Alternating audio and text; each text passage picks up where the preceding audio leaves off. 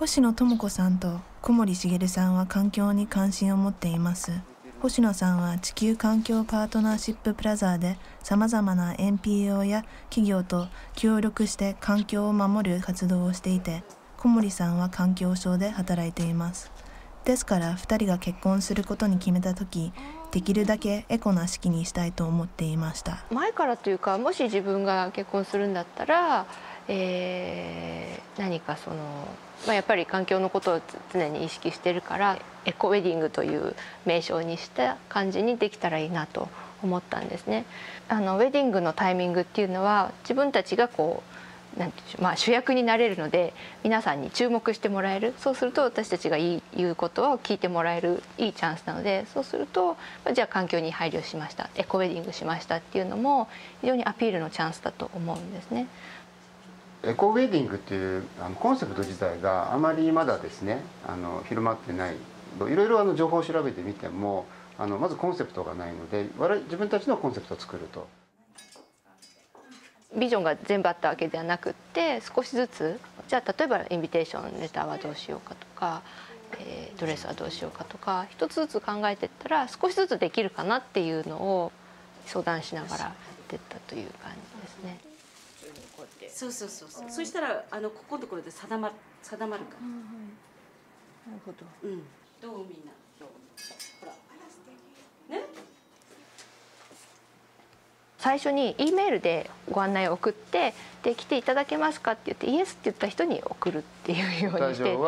全員に送らないようにするとかそれから紙一つ一つはその森林認証のものでそれからあの実際に会場であのレストランでですねそのできるだけ紙を無駄な紙を持ち帰っていただかないようにということで、まあ、パンフレットとかそういうのを最低限にするとかですねプロフィールなんかも一つあの掲げてですね。私たちの、えー、衣装にオーガニックコットンのとか、えー、オーガニック素材のドレスを着るようにしたこと。あとは、えーと、お花をあの国産の身近な草花のお花を扱ってるお花屋さんで買って、えー、ブーケにしてもらったりしたこといろんな人がいらっしゃるんで食べ残しなんかもないように一食パーティーにしてみるとかそれからその料理の中身もですねこれもあの環境に優しくて健康にもいいようなあの有機野菜ですとかそういうものを作るとかそういったことにこだわってましたね。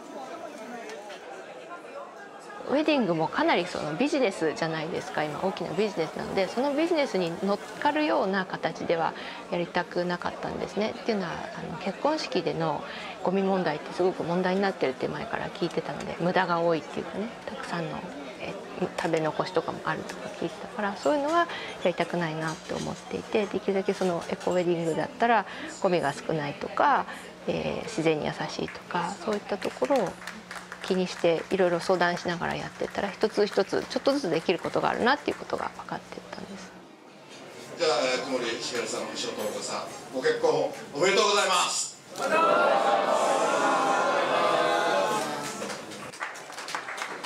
あのやっぱりお祝いなのであのとは言っても企画でですね楽しい企画を盛り込んであのみんなが笑顔でっていうところも気を使うというのが多分で成功したのかなと思っていますけども。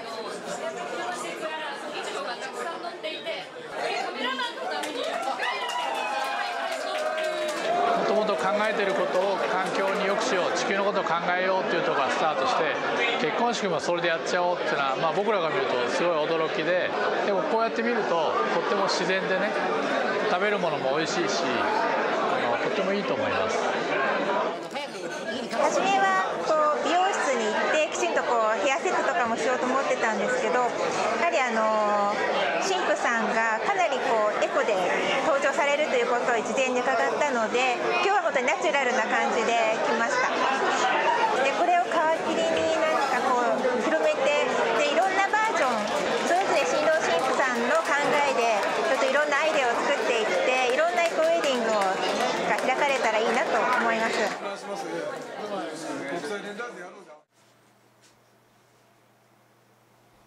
有機生産者から宅配で野菜をとあの送ってもらっているんでそれを1週間に1回、